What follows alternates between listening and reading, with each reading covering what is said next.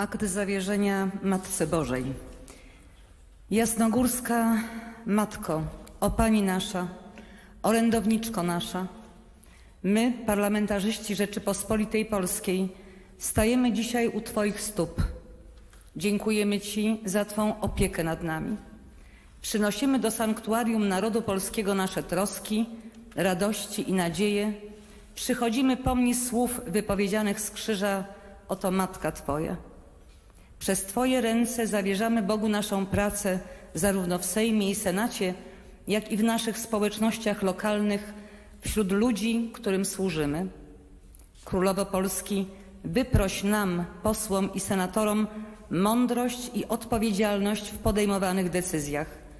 Czyń wrażliwymi nasze sumienia, byśmy zawsze mieli na względzie dobro wspólne, czyli dobro ogółu i każdego bez wyjątku człowieka, by wszystko, co robimy, stanowiło przejaw poszanowania godności osoby ludzkiej.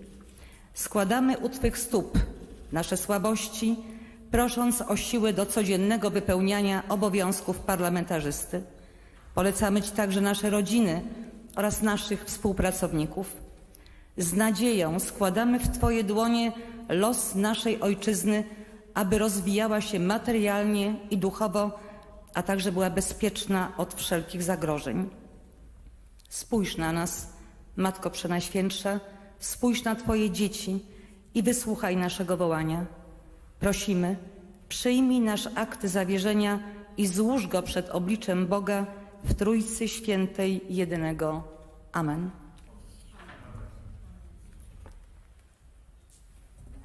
Ekscelencjo, czcigodny księże biskupie, drodzy ojcowie. Chciałam bardzo serdecznie, z głębi serca podziękować za tą wspólną Eucharystię. To jest szczególne miejsce. Od stuleci Polacy pielgrzymują do Matki Bożej tu na Jasną Górę. Dziś jesteśmy tutaj my, ale bardzo się cieszę, że są z nami nasi koledzy górnicy. Przyjechaliśmy, żeby podziękować za cały poprzedni rok, trudny rok, ale żeby prosić też Matkę Bożą o opiekę i o wszelkie łaski, bo ten rok nie będzie łatwiejszy. Zawierzyliśmy dziś Tobie, Matko Boża, wszystkie nasze troski, pragnienia, nasze trudne sprawy z ogromną wiarą, że będziesz nas wspierać.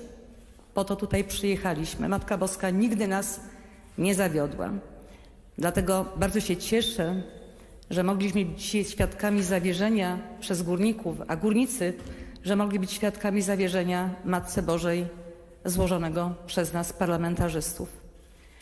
Korzystając z tej okazji, dziękując księdzu arcybiskupowi, ojcom Paulinom, którzy z taką gościnnością i serdecznością nas tutaj zawsze przyjmują, ale także dziękując moim kolegom, posłom, senatorom, wszystkim obecnym na dzisiejszej mszy, chciałam skorzystać z okazji, że dzisiaj jest też wyjątkowy dzień, ponieważ to 10 lat pełnienia posługi arcybiskupiej przez księdza arcybiskupa, więc proszę przyjąć od nas wszystkich najserdeczniejsze życzenia zdrowia, spokoju i pokoju serca, dużo sił, wiary, nadziei, miłości, która także nam jest potrzebna. Wszystkiego najlepszego, ale przede wszystkim opieki Matki Bożej i wielu łask. Wszystkiego najlepszego.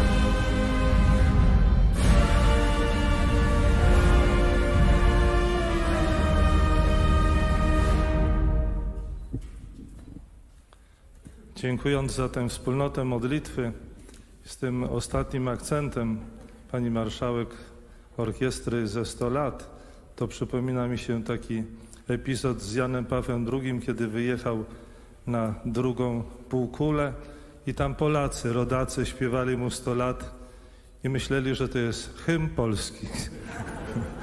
Dlatego, żeby nam się nie pomyliło, właśnie to życzliwe spojrzenie i dźwiganie siebie nawzajem z tym, że służymy Polsce i również tutaj u stóp Matki Bożej prosimy, żeby była nam zawsze Matką niezawodnej nadziei, przedziwną pomocą i obroną.